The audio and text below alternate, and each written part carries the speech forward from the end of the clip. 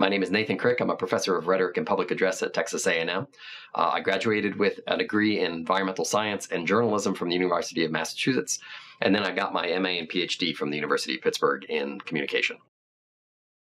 When I was at the University of Pittsburgh, my dissertation was on John Dewey on the art of communication. I worked with Dr. John Poulakos, where I combined classical knowledge with pragmatism to try to extract a distinct rhetorical theory from the work of John Dewey as it related to democracy, to art, to science, uh, and how to integrate these things into a total theory of democratic deliberation and public address. I was really attracted to John Dewey because he really focused on education on the one hand and democratic social life on the other. And it was sort of my endeavor to try to integrate a theory of argumentation and persuasion within his theory of democracy and also his theory of education. How can we really bring rhetorical skills and methods into the classroom to teach citizens, future citizens, to be um, better advocates for what they believe uh, so that we can make social life better? Besides contemporary theory, I always have a foot in the classical world.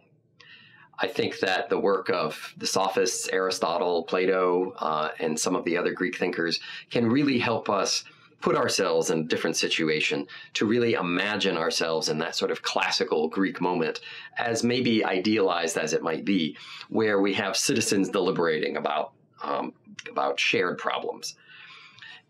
So the classical vocabulary is really useful because it really simplifies and it is an active vocabulary. It is about people doing things, responding to things. And it is really meant to be a method of action uh, rather than something that's so jargon filled that it is outside the experience of the students. I think when I first started communication, I tended to use far more of a um, lecture and paper orientation. Now I do a lot more projects, a lot more criticism. I, I incorporate a lot more contemporary examples. Even the time when I started teaching from 1998 to now, the amount of artifacts we have available at our fingertips to bring into the classroom through media is infinitely more than when I started. I had to make photocopies and put them up on the overhead projector. I couldn't, we never had projectors in our classroom. We had to wheel in a VCR from tapes that were from 1950, like the great speeches from 1940, and you'd have Eisenhower. Like that was the speeches that we had available for us at that time.